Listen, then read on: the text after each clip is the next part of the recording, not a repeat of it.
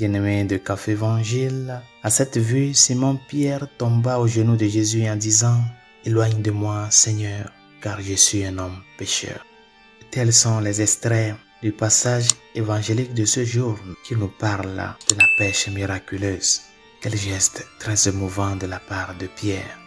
Trois choses se produisent dans ce passage évangélique. Premièrement, l'évangile nous dit que Simon-Pierre, voyant cela, bien qu'il ait vu cela littéralement avec ses yeux, nous devrions voir sa vision comme quelque chose d'encore plus profond. Simon-Pierre n'a pas seulement vu la meilleure journée de pêche qu'il ait jamais eue, il a vu la grâce de Dieu à l'œuvre à travers le Seigneur et a été profondément touché intérieurement par ce qu'il a vu.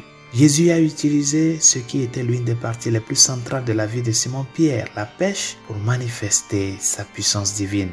En un sens, le Seigneur a apporté cette leçon à Pierre en utilisant la pêche comme source de sa leçon. Deuxièmement, la réponse de Pierre a été parfaite. En rencontrant ce miracle divin, Simon-Pierre a immédiatement pris conscience de son péché.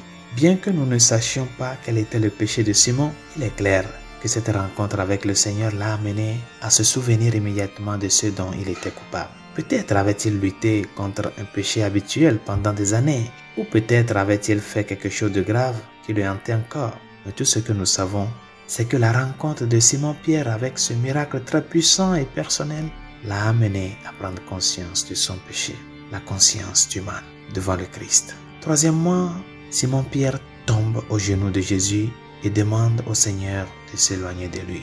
Bien que la miséricorde de Jésus soit si grande qu'il ne s'éloignerait jamais de lui, Simon-Pierre est non seulement conscient du fait qu'il est indigne d'être en présence de Jésus, mais il manifeste également cette conviction par son humble geste de repentance.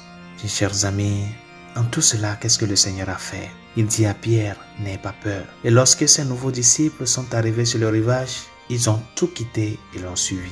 Chacun de nous doit rencontrer notre Seigneur de la manière. Chacun de nous, bien chers amis, doit rencontrer le Seigneur de la même manière, une rencontre personnelle.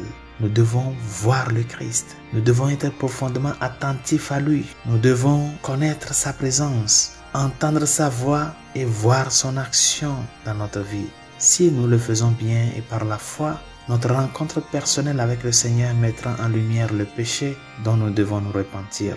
Ce n'est pas pour que nous restions dans la culpabilité et la honte, mais plutôt pour que nous puissions nous humilier devant le Seigneur et reconnaître que nous ne sommes pas dignes de lui. Lorsque ce humble aveu est bien fait, nous pouvons être assurés que le Seigneur nous dira également N'aie pas peur. Il faut alors répondre à ces paroles consolantes en faisant le même choix que Simon et les autres. Nous devons, nous devons être prêts à tout laisser derrière nous pour suivre le Christ. Es-tu prêt? Résolution de ce jour, voir le Seigneur prendre conscience de tes péchés, se mettre à genoux devant lui. C'est ce qu'il faut faire aujourd'hui.